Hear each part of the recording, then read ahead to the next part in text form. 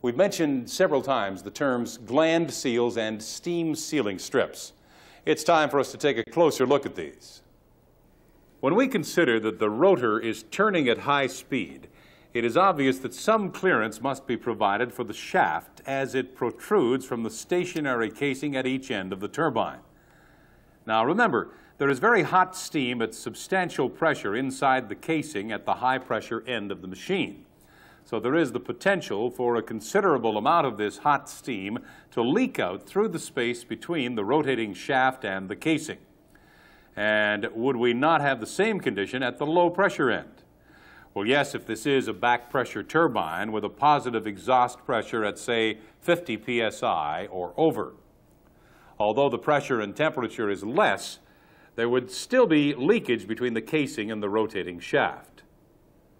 But what about the case of a condensing turbine? Well, in this situation, there is a vacuum inside the casing at the low pressure end. So instead of steam leaking out, air would leak in, and we do not like that either. It could lead to a loss of vacuum and consequent loss of efficiency.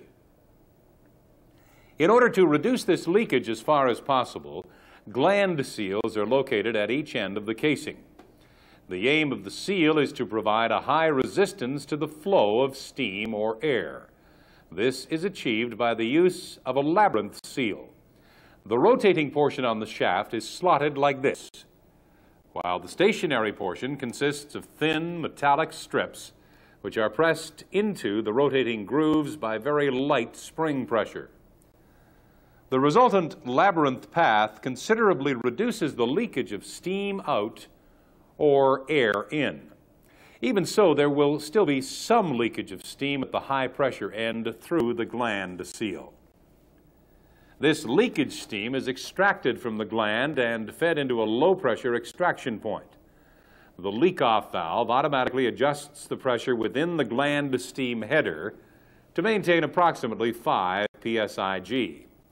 But even at that low pressure, there will still be some leakage along the shaft into the turbine room. In order to prevent this steam from getting into the turbine room, it is drawn from the outside of the gland seal by a slight vacuum, which is produced by the gland steam exhauster. Some heat is recovered from this small amount of steam, bypassing it through a heat exchanger in the condensate system known as the gland steam condenser. Now let's see what's happening at the vacuum end of the turbine. Well, we definitely do not want air to enter the casing even the small amount that may flow across the labyrinth seal. In order to prevent the leakage of air into the casing, low pressure steam is provided from the header to the low pressure gland seal.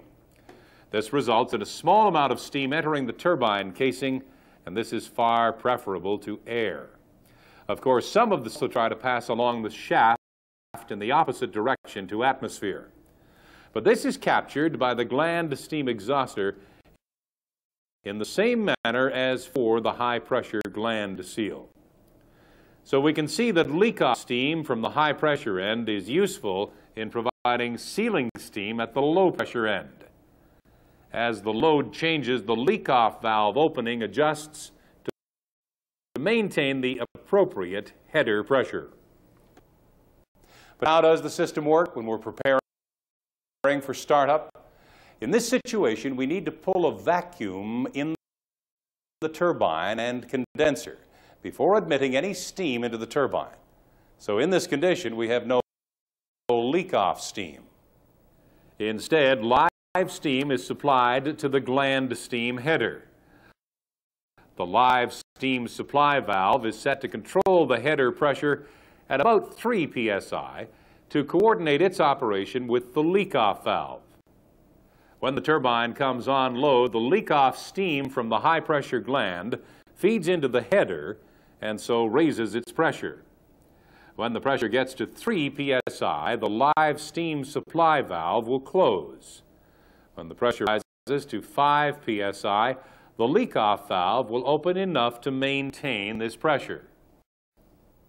Remember that there are two basic circuits in the gland steam seal system. First, the gland steam header, which supplies steam to the seals or dumps excess steam. The second circuit extracts leakage steam from the extremities of the glands and passes it through a heat exchanger and the gland steam exhauster. Make sure to check and learn details of your own gland steam system. Sealing strips are similarly used in other parts of the turbine where we need to eliminate or at least reduce steam leakage. A typical example is the interstage seals, which are the inner circumference of the diaphragms where the shaft rotates. In all cases, the seal strips are made of very thin, soft, metallic material. They rub on the shaft and reduce the leakage as much as possible. Of course, as time passes, the sealing strips wear and need to be replaced during regular maintenance. We'll be discussing this aspect in another module in this series. Well, so much for sealing systems. Another very important support system that is essential for turbine operation is that of lube oil and hydraulic oil supply. The lubricating